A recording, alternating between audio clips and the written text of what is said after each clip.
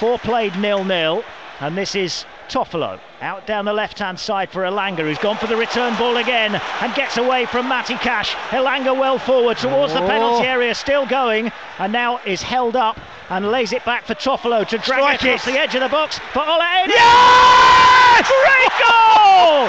What a hit from Ola Aina!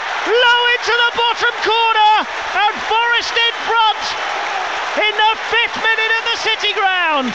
Now Torres down the left-hand side. Torres with a good ball for Lucas Digne towards the edge of the penalty area. He goes, uh, lays it down the line to Zaniolo, who's uh, almost caught Odysseas out. Murillo uh, we didn't see Ollie Watkins lurking behind him and Villa trying to break again now. This is Moussa Diaby down the right hand side, level with the edge of the box, squares it across for Zaniolo, tight angle, and a good keeper. block by Ola Aina.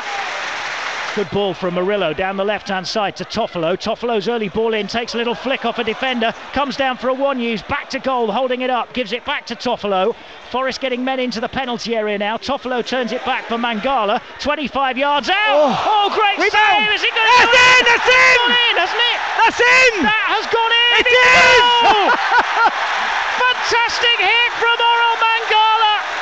One-handed attempted save from Emi Martinez. It up in the air, but it went back behind the goalkeeper. He tried to keep it out.